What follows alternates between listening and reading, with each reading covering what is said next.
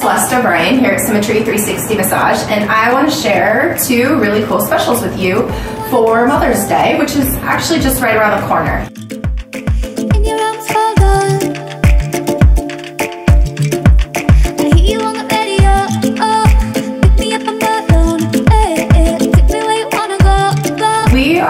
Offering a great deal on a 90 minute therapeutic aromatherapy massage and we've chosen a blend of oils that will help up, uplift mom, make her feel nice and relaxed but also address some of those aches and pains.